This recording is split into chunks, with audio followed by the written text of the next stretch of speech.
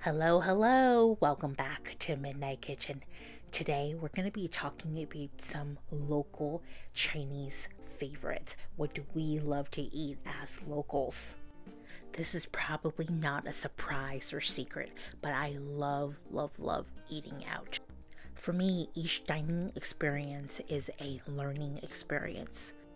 From cultures to cooking techniques to unusual flavor pairings.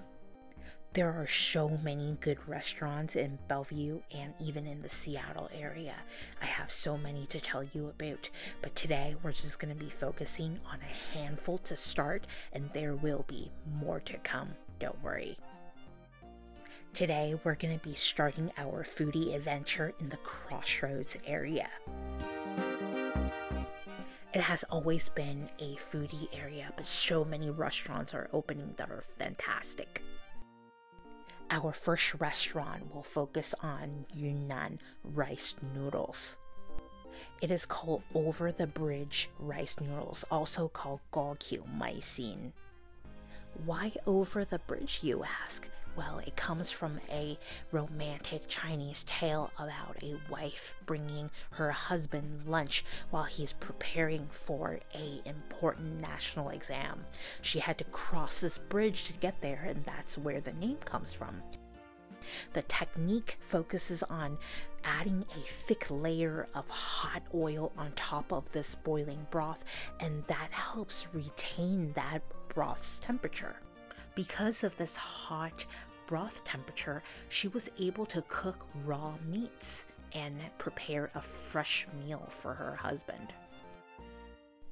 I've tried this restaurant in person and also takeout during the pandemic several times and was impressed with the variety and flavors of their broth you will see a rice noodle centric menu with dry forms, a pre made soup form where all the flavors are already made for you, and the third option is the over the bridge form, and this is what you see here. I love how the individual ingredients are all separated into individual plates, just like if you were doing mise en place. As I mentioned earlier, the highlight is this hot, hot broth.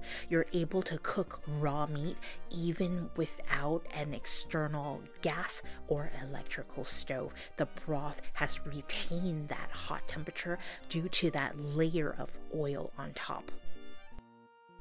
At its hottest temperature, we add in the raw meats first, the egg, and also the ingredients one by one.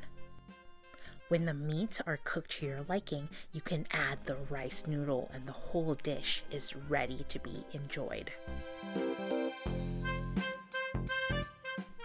I remember having this exact dish in Yunnan, and my mind was blown when I saw that you could add chunks of raw chicken in there and it'll be perfectly cooked by the time you enjoy your noodle soup. This heat trapping method was not only intelligent, but I thought it was really fun and clever. These ingredients are all customizable, so you can add or subtract any ingredients as you wish. I also recommend their popcorn chicken as a snack. It is well marinated with that five spice flavor penetrating throughout the entire piece with a crunchy exterior and at the same time it's still juicy. The bubble waffle is a great dessert choice. Chinese style rice noodle soup is one of our favorites, as you can tell. We make it all the time at Midnight Kitchen, and one day we'll be sharing this with you in another video.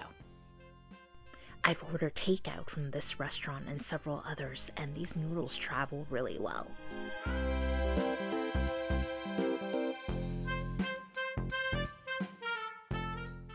We head across the street to try one of our favorite snacks, the mochi donut.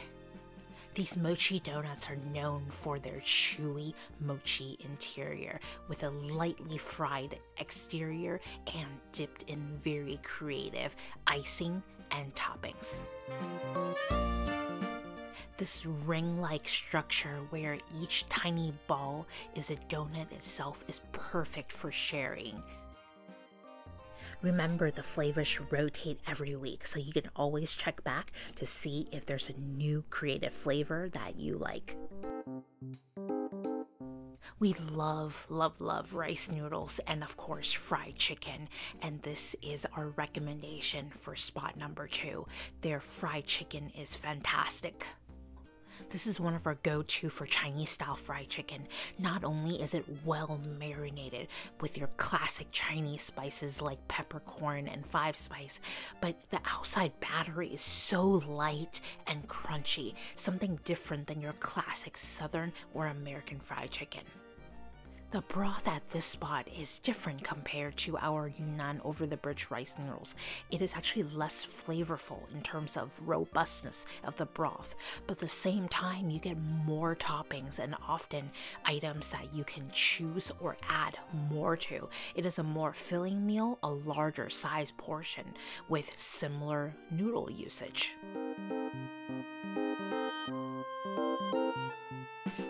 In terms of broth quality, though, I do recommend spot number one. For portion size, this is great. I've also tried several other specialized items on their menu and really enjoyed that soya braised chicken with rice.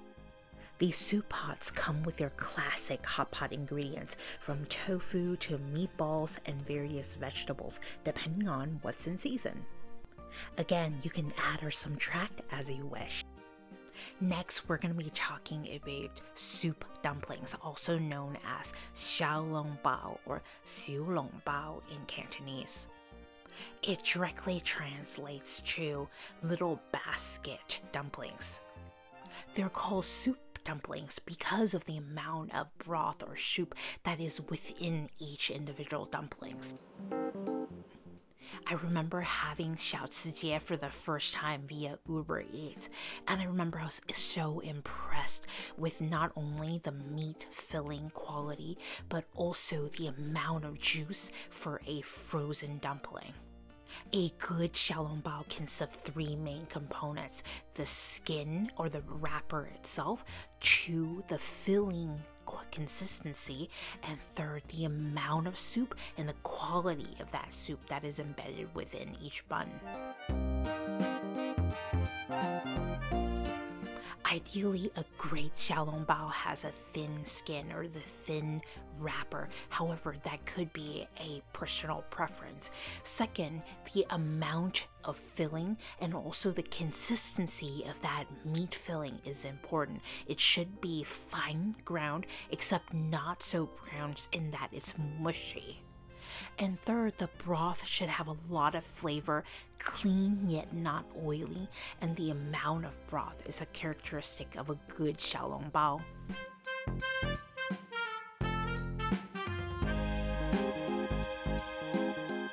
As you can see, we are carb lovers at Midnight Kitchen. Next, we go to another dumpling noodle restaurant called Dough Zone, and again, we're gonna order similar items.